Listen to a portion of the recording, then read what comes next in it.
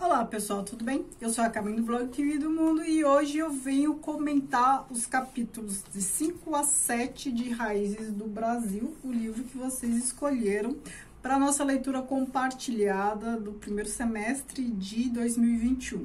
Então, agora em abril, eu tô comentando os últimos capítulos lidos em março. Vou deixar aqui embaixo no box de informações a, a divisão que eu fiz e também playlist dos outros vídeos, né? Total de três vídeos Lembrando que o próximo livro a ser lido de leitura compartilhada é Formação Econômica do Brasil do Celso Furtado, que acho que está lá no quarto, não vou pegar, mas é um também que a gente vai ler em um trimestre.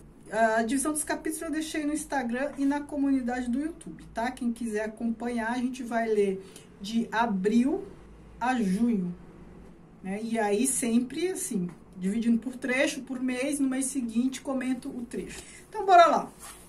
Aqui no capítulo 5 é o capítulo mais famoso que tem a tese mais famosa do Sérgio Buarque de Holanda, que é o capítulo sobre o homem cordial. Que o brasileiro é cordial, é um traço da nossa cultura, um traço da nossa identidade nacional. E logo no primeiro parágrafo desse capítulo ele fala uma coisa interessante, ó. Só pela transgressão da ordem doméstica e familiar é que nasce o Estado e que o simples indivíduo se faz cidadão, contribuinte, eleitor, elegível, recrutável e responsável ante as leis da cidade.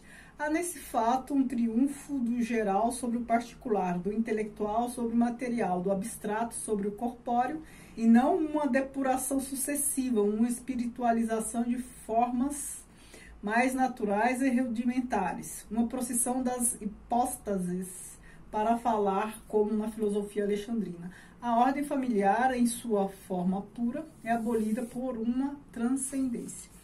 Perceba, ele está falando da formação do Brasil, né, raízes do Brasil, mas isso que ele fala serve para qualquer sociedade. Qualquer sociedade ali, desde os dos nômades, lá vai se formando, começa a andar em grupos, depois constituição de famílias, pequenos grupos, depois a família, pequenos grupos até a sociedade, até a nação como um todo, e aí o individual se perde no coletivo. O individual é parte do coletivo e não existe sem o coletivo. Aí ele cita a minha peça grega favorita da antiguidade clássica, que é Antígona. Ele comenta aqui. Ele comenta como traço de nossa cultura o patrimonialismo. Isso ele já tinha falado antes, ele já tinha discorrido sobre isso no capítulos anteriores, eu até comentei no vídeo passado, da nossa é, cultura patrimonialista que confunde o público e o privado. Até que ele começa a falar do homem cordial. O que, que ele fala? Homem, no homem cordial, a vida em sociedade é, de certo modo, uma verdadeira libertação do pavor que ele sente em viver consigo mesmo, em apoiar-se sobre si próprio em todas as circunstâncias da existência. Ora, se percebe claramente que esse homem cordial é fruto da sociedade que ele vem caracterizando. É um homem sociológico, porque é um homem que precisa do outro. O que é mais interessante nesse conceito é que o homem cordial não é um homem polido, muito pelo contrário, é o avesso disso. Essa cordialidade não tem a ver com a educação, com a civilidade, o verniz. Tem a ver com afeto. Seria engano supor que essas virtudes possam significar boas maneiras, civilidade. São, antes de tudo, expressões legítimas de um fundo emotivo, extremamente rico e transbordante. Aí nos faz lembrar Casa Grande Senzala. Quando Gilberto Freire fala dos negros, daquela afetividade de usar a afetividade na fala, né? Aquele ele dá uma adoçada ali naquela realidade, o que irrita muita gente, e ele fala do uso do diminutivo e tal, né? É disso aqui que o Sérgio Buarque de Holanda está falando quando fala dessa cordialidade. Ó. Nossa forma originária de convívio social é, no fundo, justamente o contrário da polidez. A intimidade. O contrário da polidez é o quê? É a falta de verniz. Mas não necessariamente uma rusticidade né? Não é porque a pessoa não está ali invernizada, civilizada, que ela é rude. Aqui, o que se opõe à polidez é a intimidade, aquela proximidade aquela familiaridade. Isso é muito comum na nossa cultura. A gente trata com muita familiaridade, intimidade até pessoas estranhas. E os gringos piram com isso, né? Tem gente que acha maravilhoso, tem gente que acha estranho, tem gente, né? Mas é diferente mesmo do hábito de outras pessoas em outros países. A manifestação normal do respeito em outros povos tem aqui sua réplica, em regra geral, no desejo de estabelecer intimidade. E aí, como traço dessa característica, ele fala, né, de a gente não usar, não se referir às pessoas pelo sobrenome, né, pessoas que não são tão próximas, a gente usa já o nome, o nome próprio dela e não o nome de família, que seria o sobrenome, né, essas coisas. E ele fala de uma outra característica que eu achei bem legal, me lembrei da Angola. Ele fala: nosso velho catolicismo tão característico que permite tratar os santos com intimidade quase desrespeitosa e que deve parecer estranho às almas verdadeiramente religiosas. Provém ainda dos mesmos motivos. A gente realmente faz isso, né? A gente brinca com o santo, põe Santo Antônio de cabeça para baixo no copo d'água, né? Por conta da simpatia. Não tem aquela veneração respeitosa que outras culturas têm. E eu estava pensando se isso não é coisa de país colonizado. Pode ser, porque quando eu estive em Angola, fui visitar lá um povoado em que tinha uma igreja né, católica e me chamou a atenção o comportamento de uma senhora. Ela foi da porta até o altar, ajoelhada, levantando as mãos assim, com a foto né? Não sei se de algum parente perdido ou, enfim, uma foto de outra pessoa. E ela, assim, conversava com o santo, tentando seduzi-lo, assim, convencê-lo. Tipo assim, olha, não, olha na foto, tipo assim, de, de, glória, não sei o quê. Eu achei curioso. Falei, nossa, é uma maneira muito íntima, tipo assim, é como se fosse meu truta, né? E assim somos. Não sei se é uma característica de país colonizado ou se é herança portuguesa, já que outro país também foi colonizado por Portugal, mas eu percebi isso não só aqui no Brasil. Agora, o capítulo 6, ele chama de Novos Tempos. E ele fala de democracia e de educação, né? Resumindo bem, vou ler um trechinho. A democracia no Brasil foi sempre um lamentável mal-entendido. Uma aristocracia rural e semi-feudal importou-a e tratou de acomodá-la onde fosse possível aos seus direitos ou privilégios, os mesmos privilégios que tinham sido no Velho Mundo o alvo da luta da burguesia contra os aristocratas. Então, ele está falando que a gente transplantou de lá para cá uma experiência que não é a nossa, né? E aí ele está muito alinhado com o Florestan Fernandes quando fala da formação burguesa no Brasil. Já falei, eu li trechos deste livro, não dessa edição. Estou para ler essa edição e quando isso acontecer eu venho comentá-la aqui, mas o Florestan está falando exatamente disso, dessa nossa formação burguesa que é, no mínimo assim, uma subcategoria, né? Uma coisa bem periférica mesmo, nada que se compara, porque assim, ela não foi construída, né? Não foi construída aqui, não é nossa. Quando a gente perde o interesse pelo processo, ou acha que não tem tempo pelo processo, a gente fica com embustes, né? Com coisas falsas, com farsas. Fica até um pouco ridículo, né? E o outro trecho que eu destaquei, que ele fala de educação, né? Cabe acrescentar que, mesmo independentemente desse ideal de cultura, a simples alfabetização em massa não constitui talvez um benefício sem par. Desacompanhada de outros elementos fundamentais da educação que a contemple, é comparável, em certos casos, a uma arma de fogo posta nas mãos de um cego.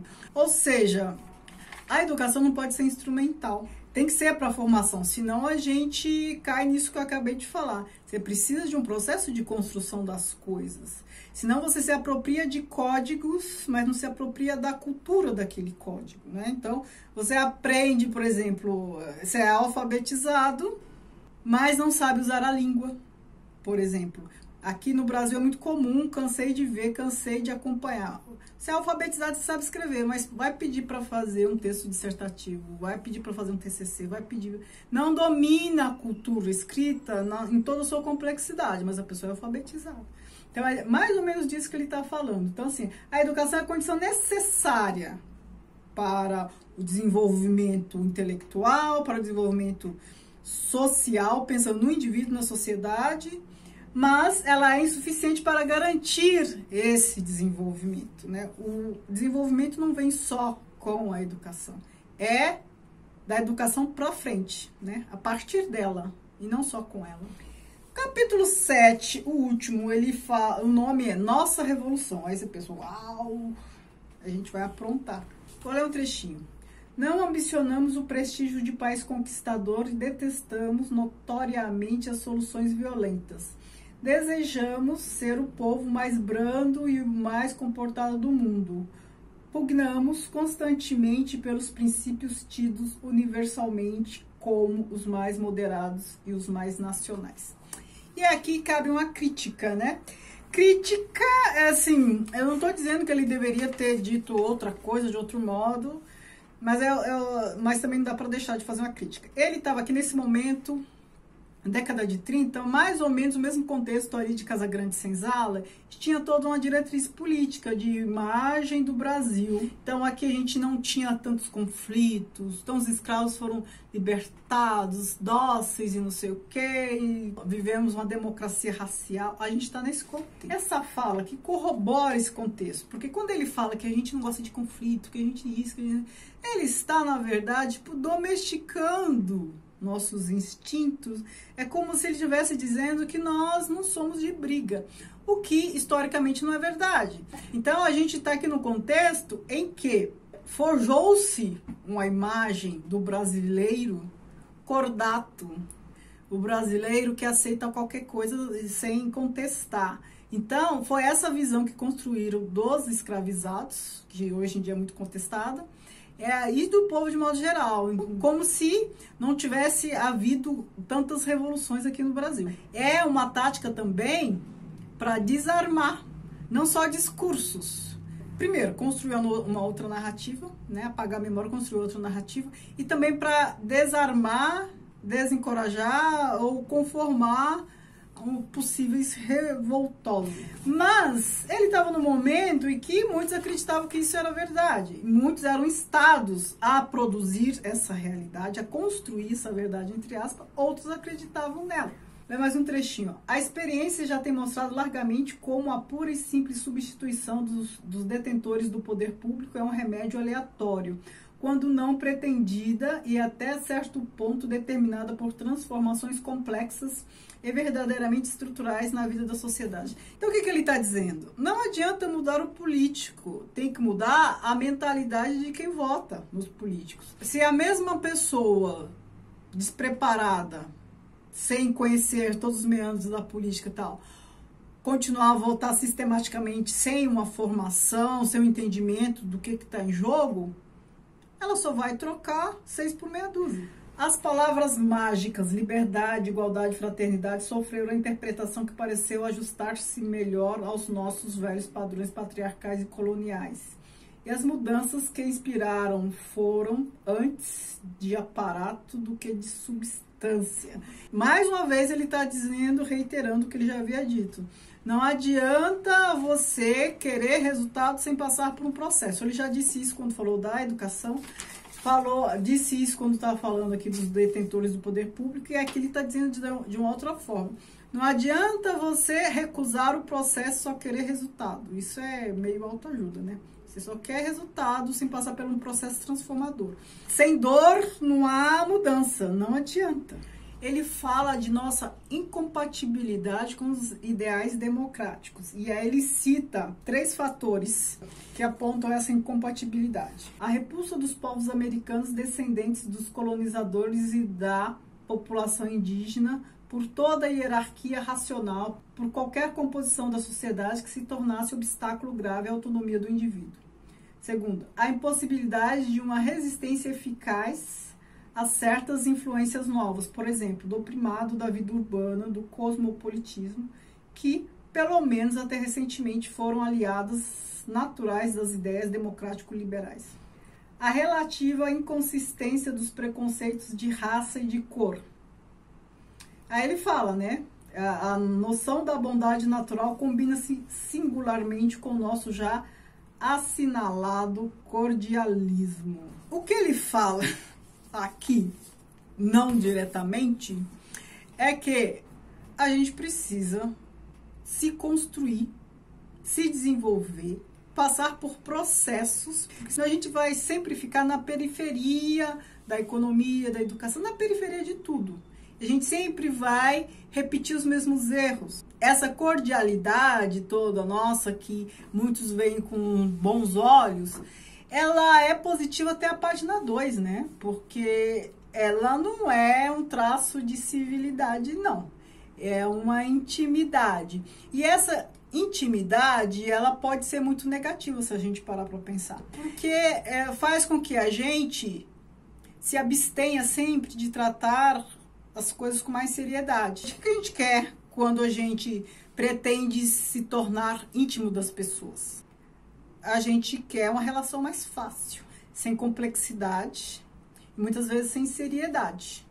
A gente quer atalhos. A busca por atalhos ela não é positiva em todos os contextos. Tem que passar por processos ali, você tem que passar por conflitos, você tem que firmar posições, enfim, você tem que se construir e se fazer né? Não tem jeito. Assinalou algumas coisas e a partir do que ele pontua, cada um pode interpretar de um jeito ou de outro, certo? Por quê? Porque ele não desenvolve bem essas ideias. Ele não deixa de dizer, ele diz, mas sem desenvolvimento. Então é isso, me digam o que vocês acharam, o que vocês destacaram. Quem leu, se gostou de ler esse livro, se não gostou, esperava mais, esperava menos, enfim compartilhe suas experiências comigo, certo? Muito obrigada por assistir e não se esqueçam de se inscrever nesse canal e de me seguir nas redes sociais, o do Mundo, Instagram e Facebook, que é a página do blog. Obrigada, beijos